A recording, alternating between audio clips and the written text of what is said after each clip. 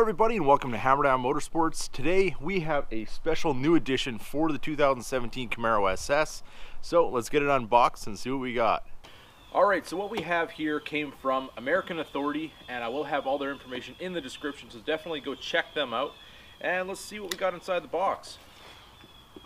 Alright, everything looks to be packaged really well.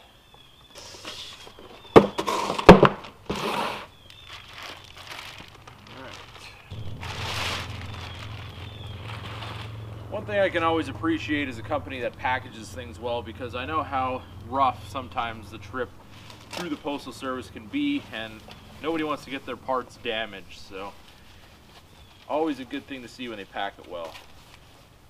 So what we have here is the ZL1 style side skirt for the Camaro SS. Now, from American Authority, these already come painted black, so you don't have to worry about taking them to the body shop and paying all kinds of money to get them painted, which is really nice. They're about 400 bucks on their website. So if you're interested in these, definitely go check them out, but we're gonna get these installed. So the first thing we're gonna do is make sure that our rocker panel is nicely clean. We don't have any wax or grease or any of that kind of stuff for road grime on it. So what I'm gonna use is a little bit of isopropyl alcohol, stuff you can buy at the grocery store for probably about $3 a bottle, super cheap and easy to get and uh, we're just gonna wipe all that stuff off and make sure we have a nice surface for everything to adhere to.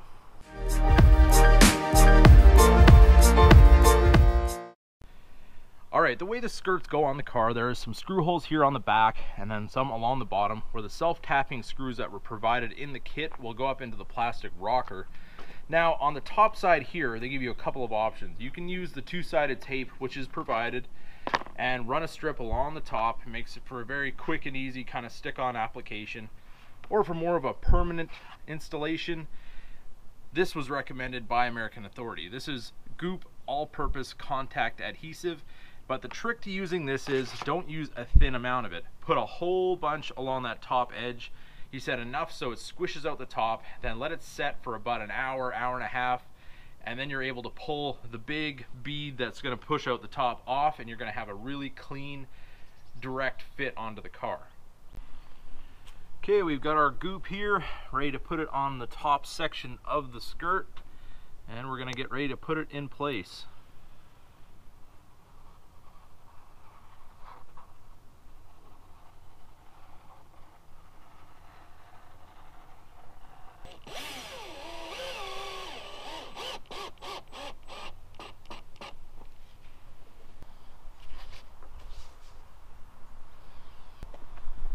All right, on the end pieces here, we were able to get our screws in the front since we were able to turn the wheel. But in the rear, I think we're gonna have to pull the rear tire off just to make sure our screws go in straight.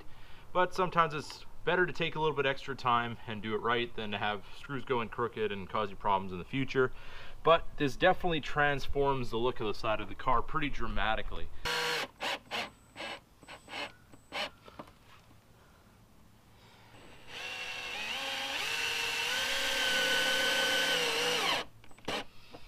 Alright, so when you do something for the first time, there's always a little bit of a learning curve, and I didn't use near enough glue. And I know he told me to put a whole bunch on, and I thought by using about half the tube, I had achieved that, and when I got it onto the car, only a tiny little bit kind of came up the top seam.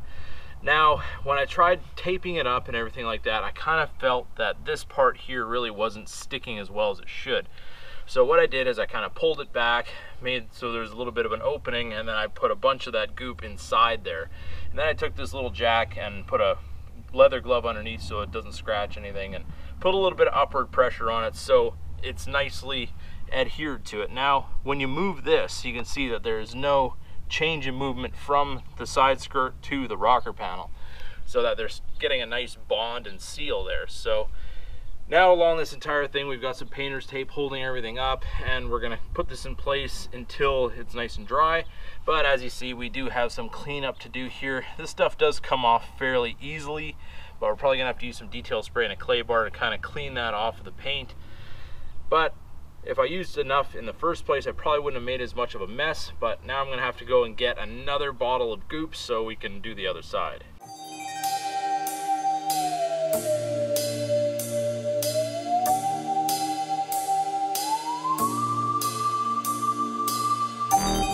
All right, everybody, we got both side skirts on the car. We're just gonna let the glue sit overnight with the tape on, keep a little bit of pressure on it so we get a nice solid bond on it and it really transforms the look of this car. It gives it a little bit more of that ZL1 kind of low look and uh, I think it looks pretty amazing on this car. So I hope you guys enjoyed the video. If you did, don't forget to give it a big thumbs up. If you're new to the channel, hit that subscribe button. We got plenty more to come on Hammerdown Motorsports. Keep that hammer down.